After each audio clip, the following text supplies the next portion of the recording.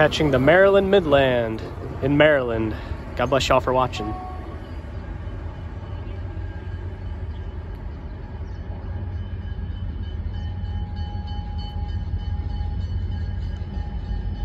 There is no bell on this crossing.